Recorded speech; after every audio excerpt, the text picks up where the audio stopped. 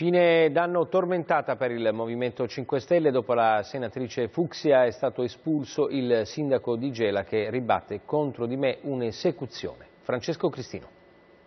In casa 5 Stelle il 2015 si chiude con l'ennesima espulsione. A farne le spese questa volta il sindaco di Gela, Domenico Messinese, le accuse mancata decurtazione dello stipendio e avallo dell'intesa con l'Eni sulla produzione di idrocarburi. Messinese, rimasto ora con un solo consigliere a favore su 30, però rilancia. Vado avanti e accusa è stata un'epurazione. Non mi ha chiamato né Grillo né Casaleggio, mi è arrivata un'email dicendo che l'espulsione era per conto di Grillo.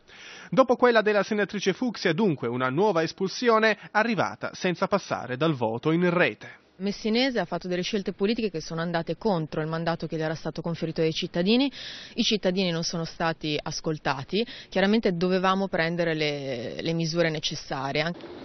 Grane anche a quarto, altra giunta grillina in Campania, non solo la lente di ingrandimento dell'antimafia sul comune, si dimettono anche l'assessore al bilancio e un consigliere. In tutto questo, da Parma Pizzarotti non esclude una ricandidatura invocando uno scatto di maturità del movimento che si prepara, tra le polemiche, al controdiscorso di fine anno di Beppe Grillo in streaming dalle 20.30 sul blog.